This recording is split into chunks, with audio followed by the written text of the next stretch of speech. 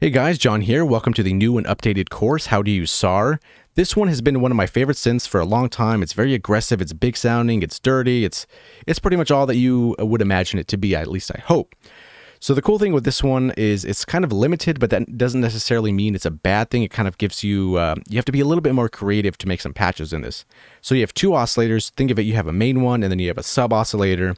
You got some glide, portamento over here. You have eight unison voices. Four filters, you have a low pass 24, a low pass 12, a band pass, a high pass. You have one envelope section right here in the middle, and then you have your LFO section over here on the right.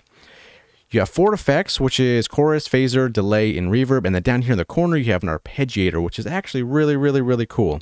And one thing that's nice about this synth as well is if you're not really into sound designing too much of it and you want something just a cool patch, if you click up here, you can you can kind of go through all of these and they all sound actually pretty good. It's not one of those synths where it's like, oh, this is a cool synth, but a lot of the presets suck and you really have to work the synth.